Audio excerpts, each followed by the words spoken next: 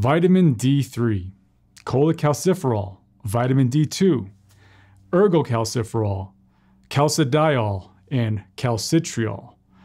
They're all referring to the various forms of vitamin D in our body or in the food that we eat. Vitamin D3 is also known as cholecalciferol. This is the form made naturally by the body in response to sunlight.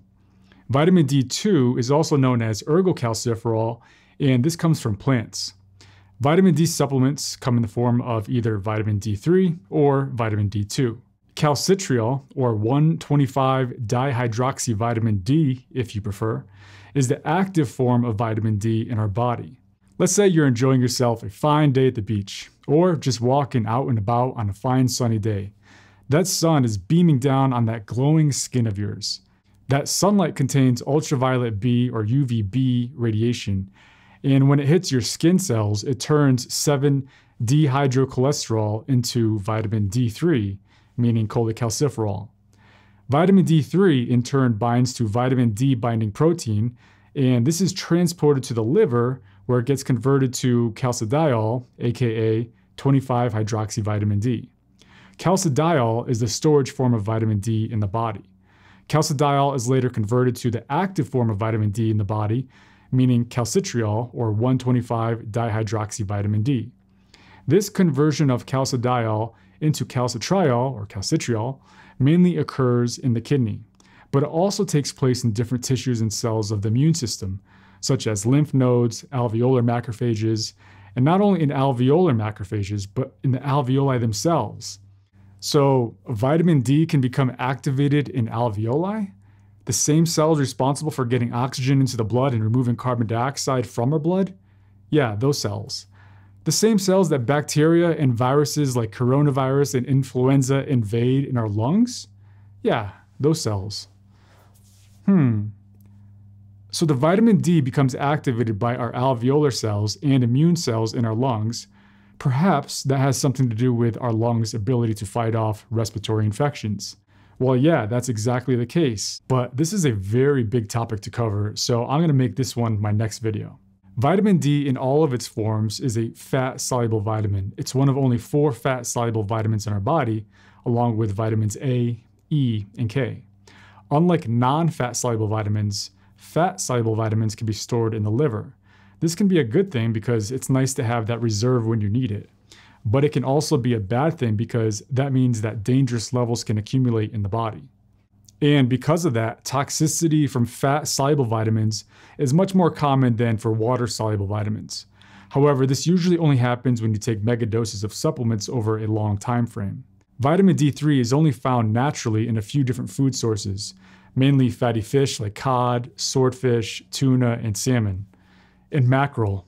Does anyone eat mackerel these days? I don't know. But what about milk? Milk doesn't naturally contain vitamin D3, but it has been fortified with it for almost 100 years. But other dairy products made from milk, like cheese and ice cream, aren't typically fortified with vitamin D and contain only small amounts. Some yogurts, juices, and breakfast cereals are fortified. For older adults to meet the recommended daily allowance of 800 IU or international units, they would have to drink about 4 cups of fortified milk per day. Vitamin D3 mainly comes from sunlight, though, not food. But the skin's production of vitamin D depends on a number of factors, only some of which you have control of. Humans first evolved near the equator in Africa. It's at the equator where the sun's rays directly hit the earth for most of the year. Our ancestors there, back in the day, wore little to no clothing, and that's why they never had to worry about being vitamin D deficient. Not that they knew what vitamin D was back then. But anyway, the more melanin in the skin, the darker the skin, and that protects the deeper layers of the skin from UV damage. Over time, as some groups of humans migrated away from the equator, their skin lightened to enable more efficient vitamin D production because of less direct sunshine. Also, in the last 300 years or so, people spent less time outdoors because of working in buildings. And in the last 100 years, people spent more time traveling in cars, which means less sunlight on their skin. And over the last 40 years or so, more and more people rubbing sunscreen lotion on their skin means less UVB absorption. It rubs the lotion on its skin or else it gets the hose again. And don't get me wrong, too much UVB light makes people more prone to getting skin cancer. It's a known risk factor for most of the 3 million plus skin cancers that occur every year eh, just in the United States alone. So, rubbing the sunscreen lotion on the skin, it's a good thing in general. So, depending on the season, where you live, where you travel, the time of the day, the clothing you wear, the umbrella that you use, all of these factors determine how much UVB light hits your skin. The sun's rays are most direct between 10 a.m. and 3 p.m. However, the farther you live from the equator, the less UVB radiation you receive.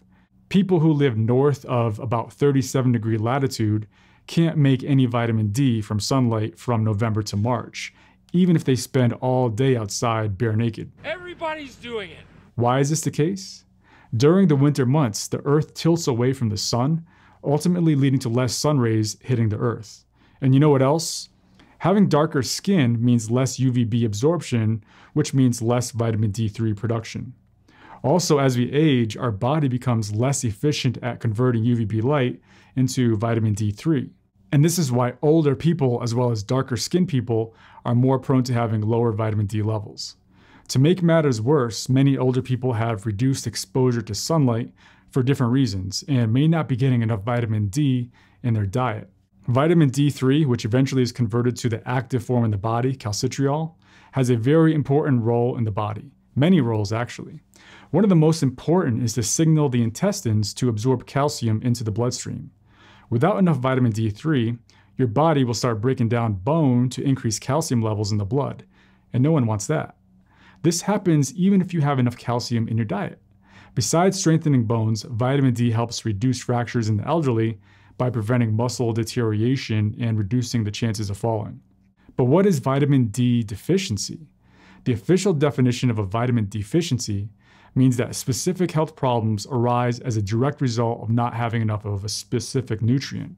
True vitamin D deficiency in children causes rickets, a bone disease where the legs become bowed, this is rare in the United States, though.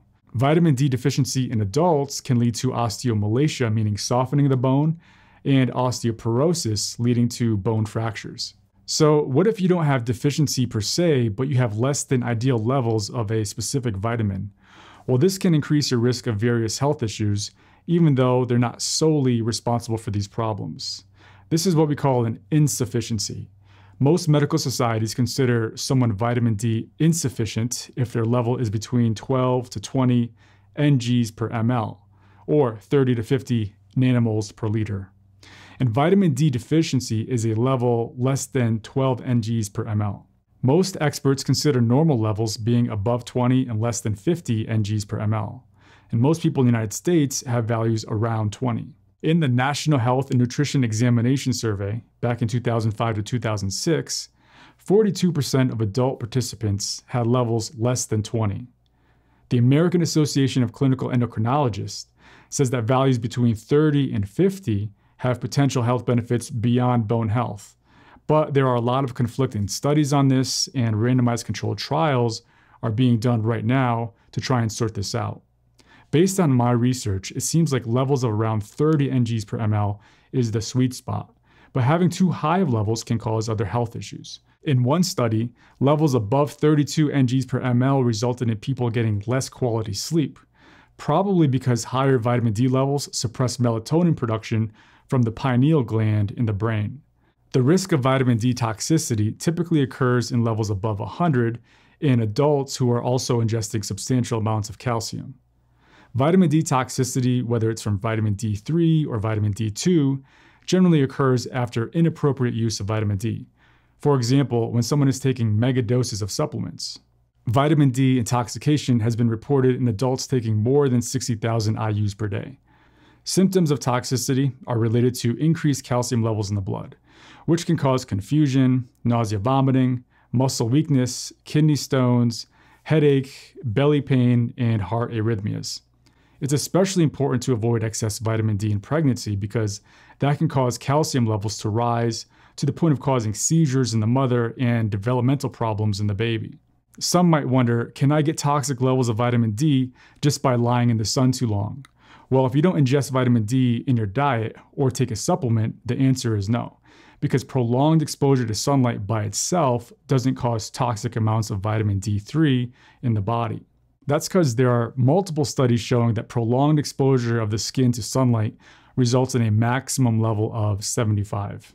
If possible, it's best to get vitamin D from food and from modest sun exposure, and be sure to avoid getting sunburn.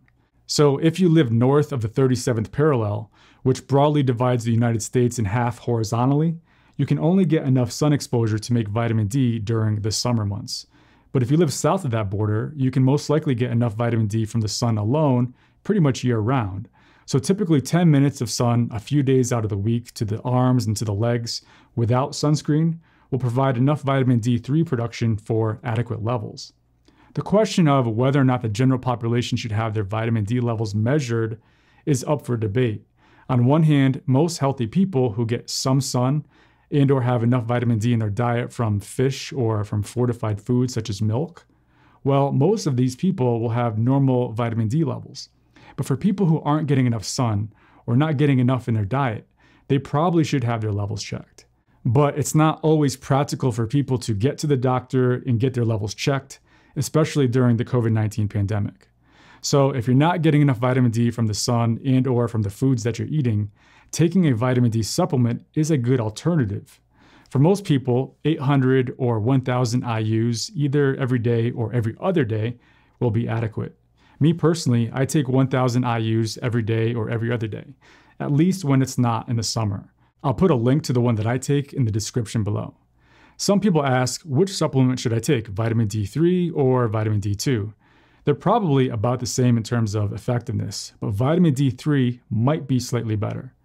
Regardless of which one you take, if you do take one, it's generally advised to never take more than 4,000 IUs per day, as this can result in toxic levels over time. But there are other factors to consider, and this is why it's always best to have a discussion with your doctor. And just a few more things to remember. People with darker skin are more likely to have lower levels of vitamin D. Same for the elderly. Same for infants. Same for people who live in countries that don't have food that is fortified with vitamin D. Same for people who live in countries further away from the equator. Smokers tend to have lower vitamin D levels as well, and same goes for those who are obese. And all of these things that I just mentioned happen to be the same risk factors for people having worse outcomes with COVID 19. Is this just a coincidence? Is there a correlation? And is there causation?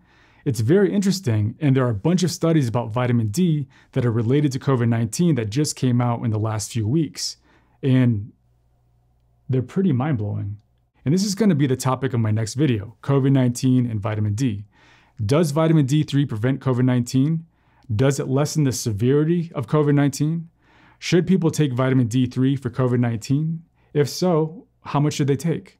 So hit that subscribe button and click on the bell notification. That way you don't miss out on that one. And I'll see you then.